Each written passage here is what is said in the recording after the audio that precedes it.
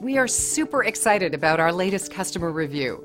We work very hard to meet our clients' every need, so we love hearing five star reviews from our valued clients.